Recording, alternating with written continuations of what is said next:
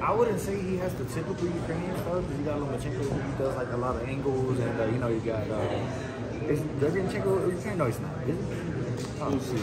Usyk. Usyk. Yeah, yeah, Usyk is uh, you know he's uh, very. What do you think of the press conference, Robert? Good, short, but good. To the point, very respectful, no pushing, fighters- no both shoving, no fighters are- cursing, no Ah, chairs There's no need for that, man. There's no need for that. It's two warriors, man. Two pros, but two fucking warriors. They're gonna put up a great fight. It's going to be a very exciting night of It boxing. is, it is. No one's going to complain after this fight. No, man, this is gonna be a great fight. This fight is, is it's got everything to be uh, one of the best fights of the year. What did you guys do when you got here an hour ago? Videos, We've been up there, you know, just uh, Virtual was doing a lot of stuff.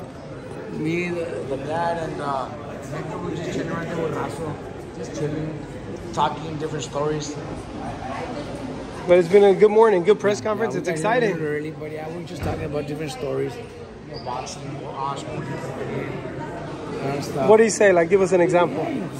I know. I grew up with them in the, in the amateurs. I was a fucking badass fighter. I was, you know, winning a lot of fights by knockout, left to the body, dedication, everything. We talked about everything. All right, so there you have it. Robert Garcia here at the press conference. Uh, Vergil Ortiz re-signed with Golden Boy. It's a big moment. Great stuff. Great stuff.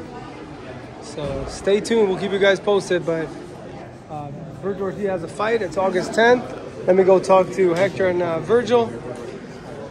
So Vergil, what did you think of the press conference? You liked it? Very respectful. Yeah, yeah. I mean, we've, we've known him, so we're, you know, they were in the same gym together and they sparred and all that. So, yeah. But it's gonna be it's gonna be a good fight. Definitely, be, it's, it's, it's definitely an underrated fight. Most people don't realize this is, this is a, it's a uh, tougher fight than most people take on. These guys do not fight But- each other. This is a tough fight. It's gonna end in an explosion, Yeah, most likely. yeah. It, it, it definitely will. And, and going back to the 50 rounds of sparring, what do you remember from that? Oh, you know, Vergil, always, does. I always say when Vergil spars with everybody, he always does well. He, he does well. He does well with everybody. Um, Vergil's a, uh, not only just a top forward fighter. Uh, you know, he can box, he can turn, he can, he can do all that stuff.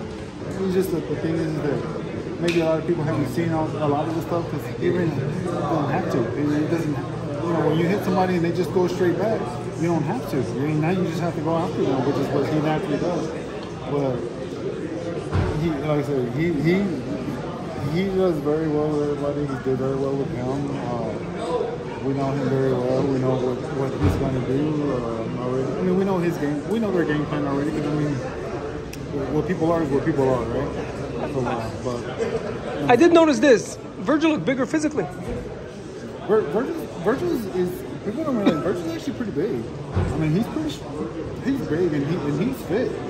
Um, other- I think uh, Fergie's a little just a hair taller than him, but Vergil's solid. Yeah. he's very solid. He's a fucking puncher too. Know, he, that motherfucker can punch. So, uh, It's gonna be exciting. August 10th. Don't miss the Tickets on sale already. You could get them at yeah, and it's at the Mandalay Bay. I haven't been there. I've never even been there. It's a great venue for fights. I've been there many Yeah, times. it's, it's cool. like uh, it's legendary there. So, you know, now we just need someone like like uh, Buffer uh, uh, introducing them. That'd be pretty. It'd be like Might happen. Well, I think isn't if he's.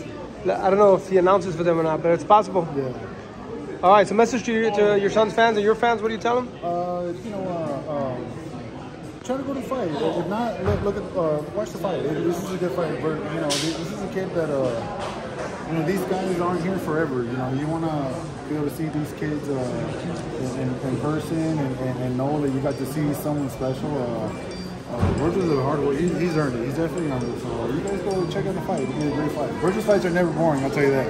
I wanted Never I wanted Vergil to face off with Fundora, but I think he left the room, right? Oh yeah, right. That would have been cool. him, yeah. That would have been tall- good. he's I than wanted to size him up because after Vergil beats this guy, that's the next one. One step at a time. August 10th first. All right, at Vergil Ortiz Sr., at Hector Beltran Sr. Stay tuned at Vergil Ortiz, at Garcia Boxing. At least back reporting.